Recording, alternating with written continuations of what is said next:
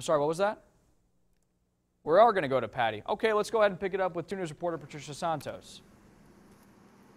Yeah, Max, we just arrived on the scene, and this is what the problem here is. The fire has been put out, but firefighters here having to drag hoses from about a hundred uh, feet away because the nearest fire hydrant is that far away. The fire is just behind us here in this uh, dark hole that you see behind us. The problem that firefighters were having is they were having problem accessing the house because of a gate. Here's what we know. There was a man inside the house. He did manage to make it out safely. He has been treated by EMSA and taken to a hospital for some minor burns to the hand.